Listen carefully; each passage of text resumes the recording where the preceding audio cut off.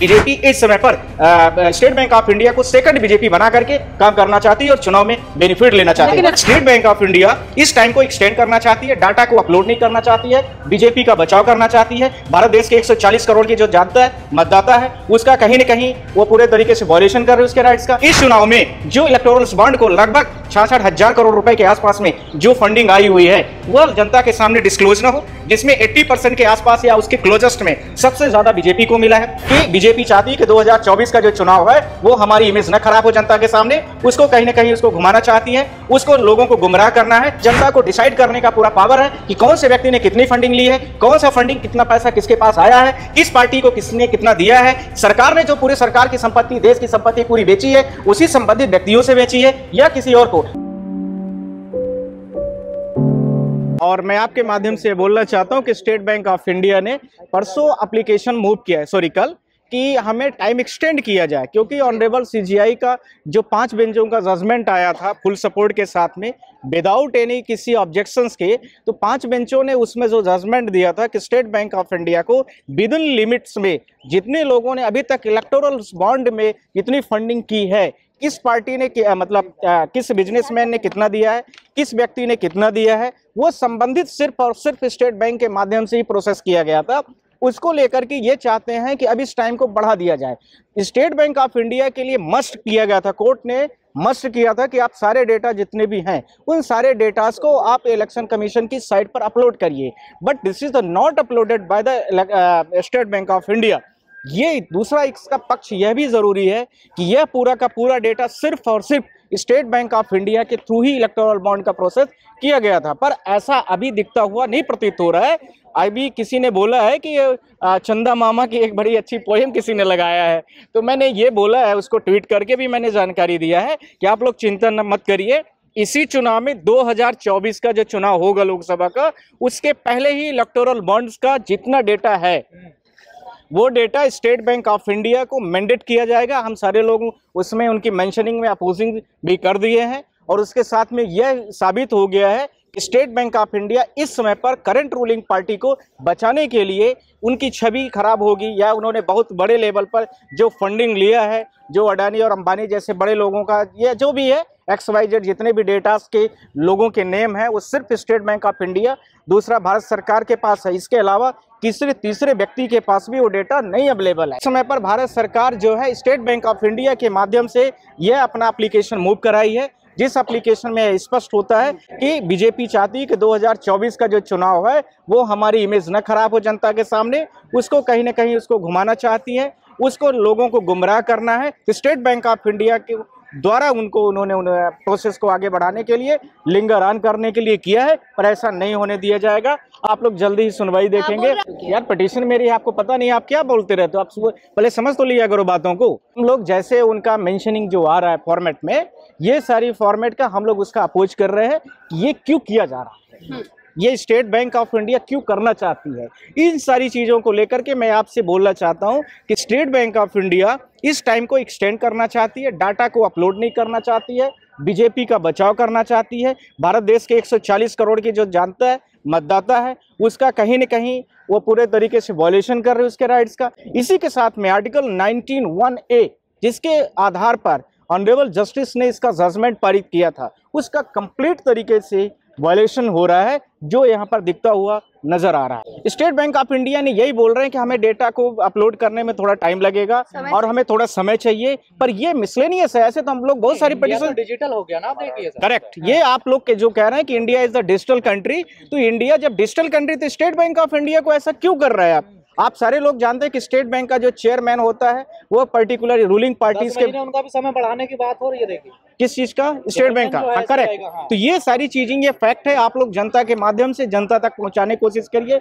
यहाँ पर करंट में बीजेपी सरकार कुछ नहीं सिर्फ़ और सिर्फ़ स्टेट बैंक ऑफ़ इंडिया को आगे करके यह करना चाहती है कि वह किसी भी प्रकार से इस चुनाव में जो इलेक्टोरल बॉन्ड को लगभग छाछठ हज़ार करोड़ रुपए के आसपास में जो फंडिंग आई हुई है वह जनता के सामने डिस्क्लोज ना हो जिसमें 80 परसेंट के आसपास या उसके क्लोजेस्ट में सबसे ज़्यादा बीजेपी को मिला है।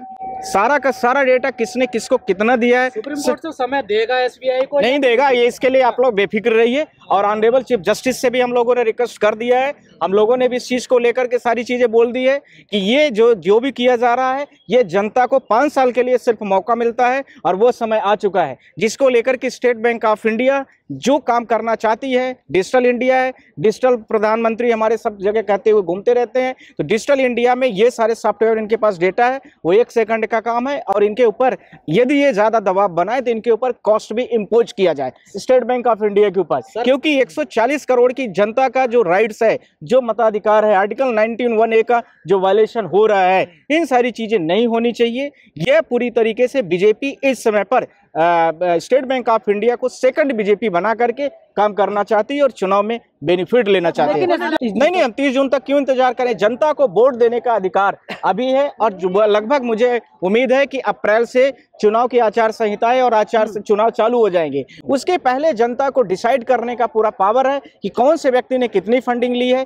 कौन सा फंडिंग कितना पैसा किसके पास आया है किस पार्टी को किसने कितना दिया है। सरकार ने जो पूरे सरकार की संपत्ति देश की संपत्ति पूरी बेची है उसी संबंधित व्यक्तियों से बेची है या किसी और को। तो आर्टिकल 19 ए का ये पूरा कंप्लीट वायलेशन है, जिसमें पूरे भारत देश की जनता के पास ये राइट्स और पावर बनता है कि वो उसको यह जानने का हक है कि भारत देश में प्रत्येक व्यक्ति, किस पार्टी को कितना चंदा मिला है, किसको कितना फंडिंग दी जा रही है कौन से व्यक्ति कितना चुनाव में फंड कर रहा है? ये सारी चीज़ों को नॉलेज में लेने की आवश्यकता है। लोग चिंता मत करिए हम हाँ। सब लोगों की कंटेम्प्ट पिटिशन तैयार है। कल पहली पिटिशन उन्हीं के खिलाफ में आई स्टेट बैंक ऑफ़ इंडिया के खिलाफ में। हम्म। आप चिंता मत करिए इसीलिए वो अप्लीकेशन डाल करके अपने आप को बचाव करना चाहते हैं पर ऐसा होने नहीं दिया जाएगा। पहले से कंटेम्प्ट तो बड़े खुश हो रहे थे ना कि एक बड़ा फैसला आया सुप्रीम कोर्ट अभी भी खुश है? जब इतना फैसला क्या? कि सुप्रीम कोर्ट नहीं मानेगा जिस बेंच पर देखिए। लगाते हैं उसी बेंच पर गया देखिए नहीं नहीं वो मेरी बात आप लोग कुछ और बात घुमा रहे हैं। बातों को घुमाइए मत। स्टेट बैंक ऑफ़ इंडिया को लेकर के जो टाइम लिमिट्स दी गई है। इलेक्शन कमीशन के पोर्टल में उनको डेटा को देना है और वो पोर्टल में इलेक्शन कमीशन ऑफ़ इंडिया उस डेटा को अपलोड करेगा। ध्यान रखने की ज़रूरत है। इसमें इलेक्शन कमीशन ऑफ़ इंडिया ने भी इलेक्टर बोर्ड जो बॉन्ड है हमारा उसको उसको उसने भी गलत ठहराया है। आरबीआई ने भी गलत ठहराया है। इसके साथ में जो विपक्षी पार्टियाँ उन्होंने भी ठहराया है। सुप्रीम कोर्ट ऑफ़ इंडिया ने भी ठहरा दिया है। तो जब हम इन सारे इन चीज़ों को लेकर के हम लोगों ने कंटेम्प पटिशन जैसे ही फ़ाइल हो रही है इन सारी चीज़ों को लेकर के स्टेट बैंक ऑफ़ इंडिया ने अपना एक अप्लीकेशन लेकर के पहुँच गए स्टेट बैंक ऑफ़ इंडिया के सॉरी मतलब कोर्ट में। सुप्रीम कोर्ट में। अब वो चाहता है कि हमारा टाइम एक्सटेंड कर दिया जाए। वो नहीं होने दिया जाएगा। आप लोग इसके लिए बेफिक्र रहिए। दूसरा दूसरा जस्ट वेट दूसरा आप लोगों के माध्यम से मैं पूरे भारत देश की जनता को बोलना चाह रहा हूँ। ऑनरेबल जस्टिस खन्ना की बेंच में फ्राइडे को मैटर ईवीएम वाली जो सुनवाई का मैटर था वो लिस्ट हो गया। आइधर फ्राइडे है, आइधर मंडे है। दो डेटों में फिक्स हो गया है, जिसमें मध्य प्रदेश, छत्तीसगढ़, राजस्थान को लेकर के था।